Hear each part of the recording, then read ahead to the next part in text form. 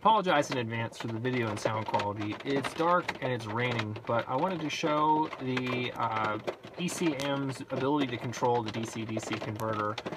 To do that, I have an oscilloscope here. I have Peter's OBD2 CNC, which is something else that I'll definitely have. Uh, and I'm going to be varying the load using my headlights. So I'll just be flipping them on and off, and you'll be able to see when they turn on here. You heard the uh, see the battery amperage on the uh, battery, the IMA battery. Current sensor is 2.5 amps when the lights are on, and you know, 1 amp or so, now 0 amps, uh, and, and 0 amps because the ECM has just turned the 12 volts off.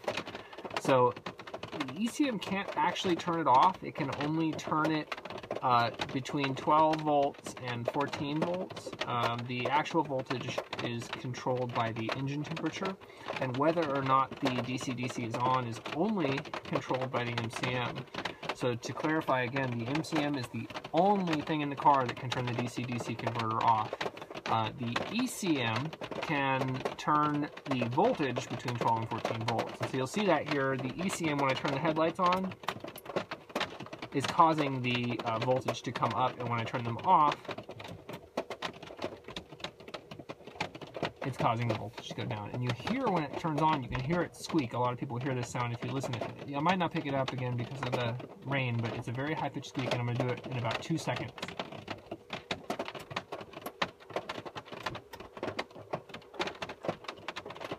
I'm going to do it again in about two seconds. So that's the DC-DC. So let's look at it on the oscilloscope. And so to do it here, first of all, I'm probing the control line, uh, which is the uh, white green line that goes into the DC-DC. So it's the white green wire here. So I have my oscilloscope hooked up to it. Um, I also have this other lead, which we'll look at in a second. It's not doing anything right now. So let's go ahead and just look at what the signal is doing right now. I'm going to force the trigger and you can see that it's low. So the, the line is low. Let's see if I can get both of these here in view. Maybe. Not readable. The line is low when the uh, ECM wants the DC-DC um, to be off. So what I'll do is I'll flip the headlights on here and you'll see the 12 volts, the bottom left corner is going to go up and you'll see the, the actual signal go high as well. So there's the signal going high. Apologies, there's a little bit of a delay on the scope because I'm acquiring so much data. Uh, again, when the scope turns off, it's going to go down. Which is what it did there. Let me make the time base a little bit faster here so that this is something that is kind of synced. Okay, so I'm going to turn the 12 volts, I'm sorry, I'm going to turn the headlights on again. You'll see the 12 volts go up. You'll see the line go high. So there's our line going high. And then I'm going to turn it off. The line's going to go low. Low. Now, if you want to make the DC-DC always stay on, so for example, if you've removed the IMA battery in your car and you've rigged it, all you have to do is you have to cut the white-green wire. So I've already cut it here. And what I'll do real quick is I'm going to disconnect it. You heard the thing come back on. And I've also hooked the scope back up as well. So now let's look at the behavior. So we've cut Hold on a sec. Um, the DC-DC converter has the pull-up resistor, so I had to actually hook this this resistor right here. It, it's a thousand ohm resistor or whatever, it doesn't really matter. Uh, and I have it just hooked up to the 5 volts coming out of the MCM. This is simply because the line itself will never go high otherwise. So we've got the scope hooked up to the ECM side of the white-green wire. The other side of the white-green wire is just pulled high. So if you if you probe that at this point, it's always going to be hot. In fact, if you want to turn the DC-DC on and off really quickly, with the other end of the cut wire, you can just ground it. So for example, here's the white-green going into the DC. If you'll listen, I'll be quiet. You can hear it's a different sound though because um, the way that the it turns on and off slower, we'll, we'll ignore it. But if you look at the voltage here, as I short and unshort this lead, we're at 14 volts. When I touch it, it's going to go to 12. So there's, oops, I didn't touch it. okay, we're now at 12 volts, 14 volts. So that's the control that the ECM has. So you can see now that the ECM is still trying to turn this on and off, but it can't because we cut the wire. And so when the load comes up and down, you'll see that the just gonna turn this to auto.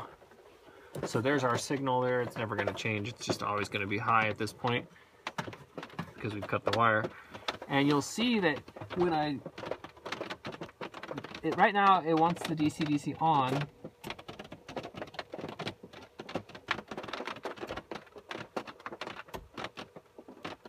Now it's telling it to turn off, but it doesn't turn off. See how the voltage stayed at 14 volts, whereas before it dropped down to 12? So now the ECM can no longer control the actual output voltage. So now the 12 volts is only controlled by the MCM and the engine temperature. Um, because of course you're trying to charge that 12 volt battery. So as long as you leave the engine temperature wire, which we haven't messed, as long as you leave that connected, it will be as if the alternator was just always charging your car.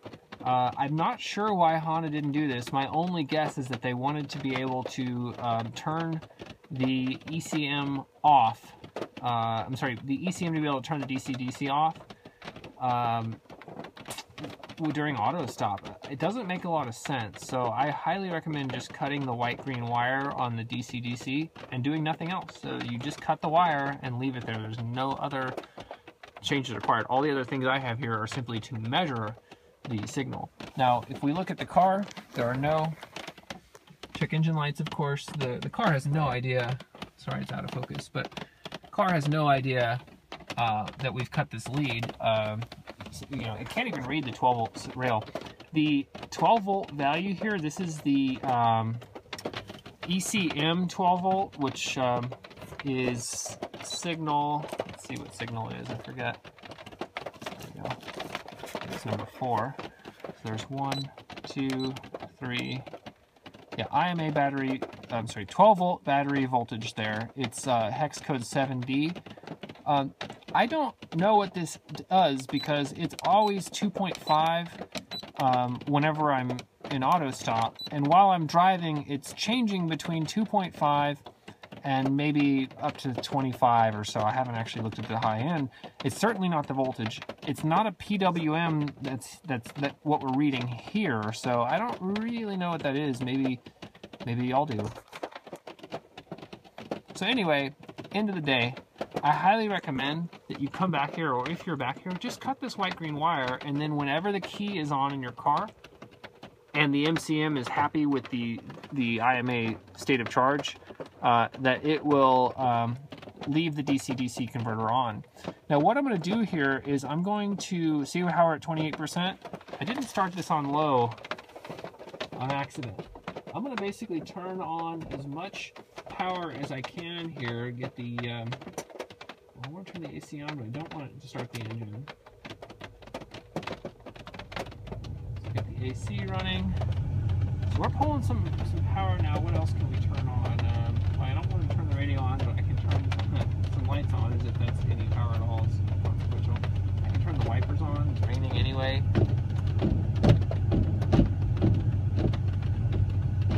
So basically, I want to I want to pull the state of charge down. See we just dropped way down, and, and actually we just did a slight negative recal. And so at this point, we are still charging even though the car won't provide assist. And so you can see the voltage is teetering on 13.9 and 14. And actually on the camera here, it's hard, harder to see. Oops, probably an acorn. Um, so state of charge is, is still going down here. So you can see now though, look, just now, the uh, DC-DC turned off, so the MCM was still able, and when the DC-DC turned off, uh, man, boy, did that voltage uh, sink, because we're pulling quite a bit of current. I'm not sure why my load sensor, oh, that's engine load, of course. Uh, I, don't, I don't actually have current displayed here. That's a mistake.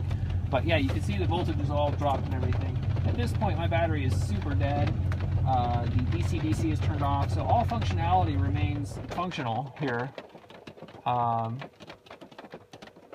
I'm I suspect that my car is probably going to use the backup starter now next time I turn it on. That's fun. I haven't used it in a while. Anyway, I just wanted to show that the um, if the battery gets too discharged, the IMA battery, it's going to still turn the DC-DC off. And then, of course, if you turn the key off, uh, the DC-DC is off as well. So as I've said a couple times now, as if I was ending the video, come in here, cut this white green wire. I think it was a poor decision by Honda to have the DC-DC turn on and off. Uh, so I'm going to be doing that in all my cars.